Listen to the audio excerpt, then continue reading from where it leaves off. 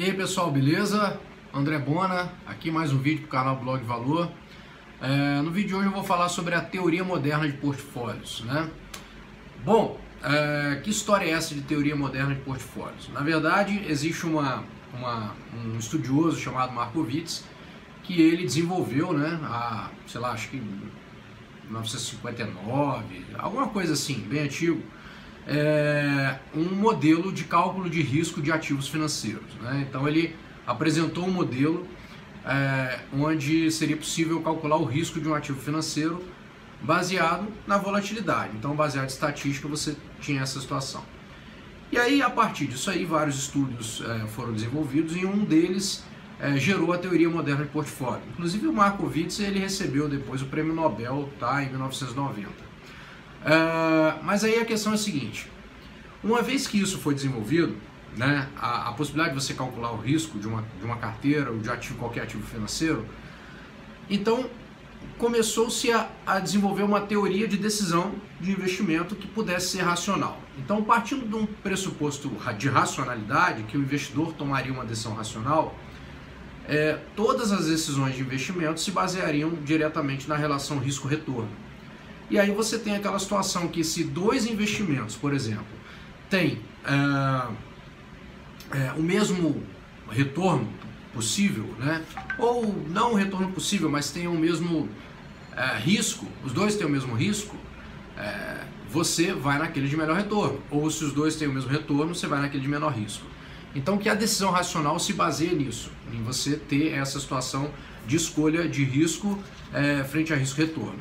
E daí você tem os componentes da teoria de portfólio moderna se desenhando. Então pensa o seguinte, dentro desse conceito, é, quando eu vou montar um portfólio, uma carteira de investimentos, é, na teoria do portfólio moderno eu vou considerar algumas coisas, né? Como a diversificação é uma delas, é importante a diversificação. É, deixa eu ver. Tem o conceito de retorno esperado, o do próprio risco, que é o cálculo também. E tem um conceito que é de fronteira eficiente. O que, que seria essa fronteira eficiente?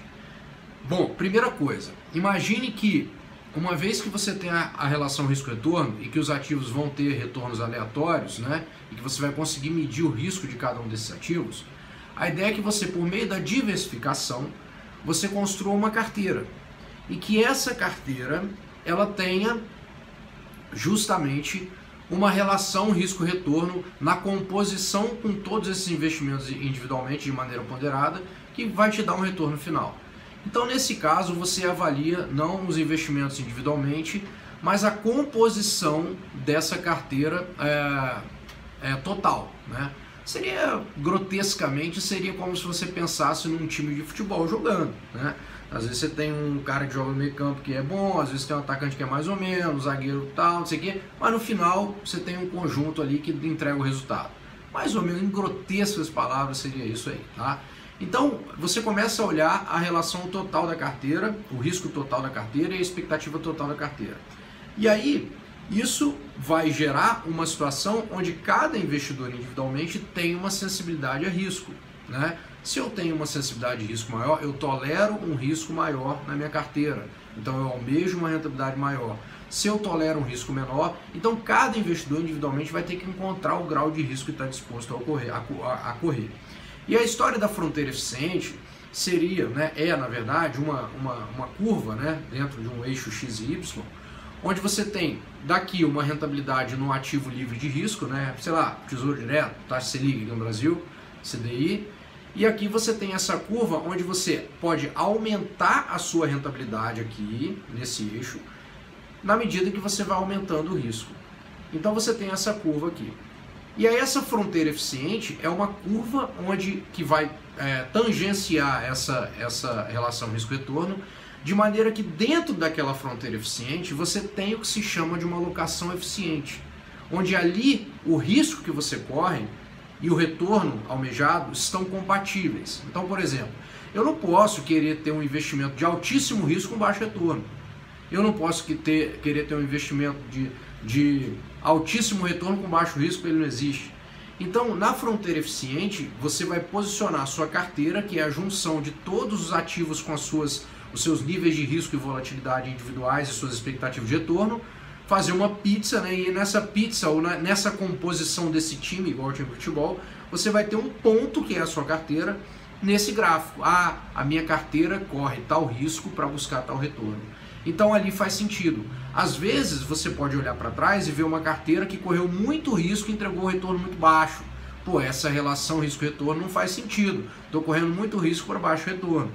Então esse é o estudo que acaba se desenvolvendo na teoria moderna de portfólios e a ideia de você sempre estar tá calibrando os seus investimentos considerando risco, considerando potencial de retorno e essa composição que vai te colocar dentro do que seria uma relação risco-retorno eficiente para aquilo que você quer. Aí daí entra a análise de perfil do investidor, por exemplo.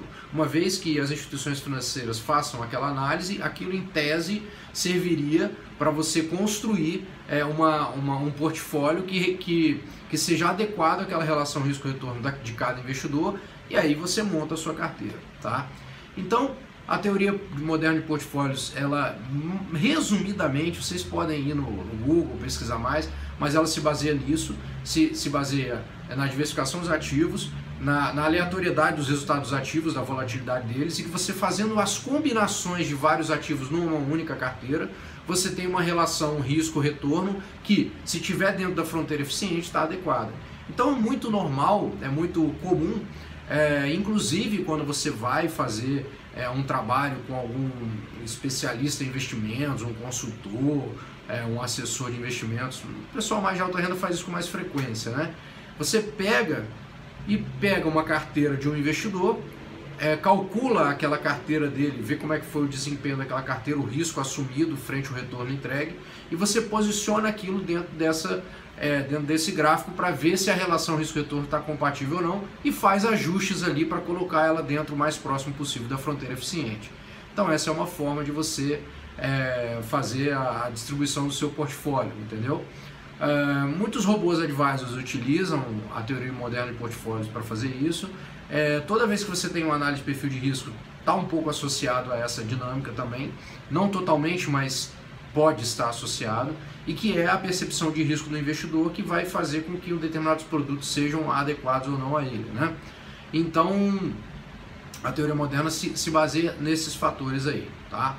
Bom, então eu queria dar essa visão geral para vocês da, da, teoria moderna de portfólio, que é excelente, é uma coisa maravilhosa, é muito, muito estruturada, muito bem pensada, você faz os cálculos estatísticos, todo, desvio padrão, é, variância, aquela coisa toda, e você tem lá um portfólio que vai sendo reajustado para alcançar melhor performance e proteger de risco. Ok, beleza. Esse vídeo hoje acaba aqui, mas eu vou fazer um vídeo na sequência marretando essa teoria de portfólios, fazendo na verdade o contraponto para você também analisar e ver os, aquilo que você tem que pensar. Pô, mas peraí, tem esses aspectos aqui que a teoria de portfólio pode, pode não contemplar. Beleza? Então no próximo vídeo porrada na teoria moderna de portfólio. Um abraço, tchau, tchau.